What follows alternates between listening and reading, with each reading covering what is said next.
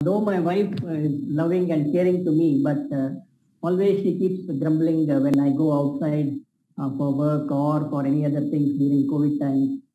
Because when I go, no, I will go with my confidence level very high and see that nothing happens in COVID times, and I give intention uh, with meditation and affirmation that um, uh, that somebody in the universe is protecting me, and I tell my wife, don't don't be uh, too anxious or don't be too curious to know about uh, myself.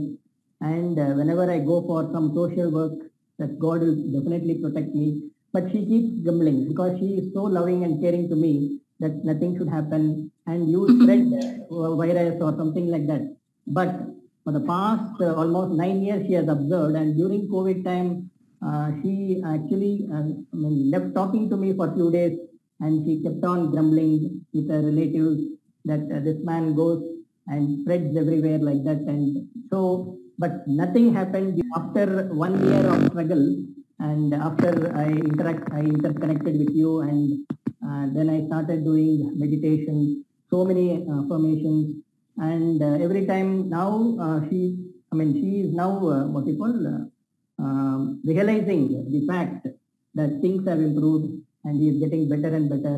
And after I got so many recognitions, so many uh, things changed in my life. No, the past four months she has observed, and uh, even for the past one week also she has. Uh, I mean, she's stopped grumbling, and uh, things are changing for her also, and for me also. She has observed, and now uh, she's open. But my son is a wonderful person. He's so positive in his life. He's an amazing person, and uh, in fact, he calls every time and inquires about our mean, what is going on.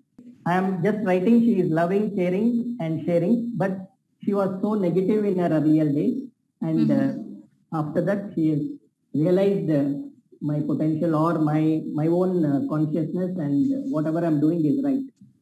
That is what I Great.